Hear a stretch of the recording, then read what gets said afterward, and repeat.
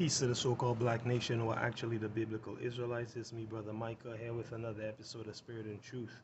Today I just want to um, uh, ask, did you know that you are not allowed to um, uh, have Hebrews work for you for free?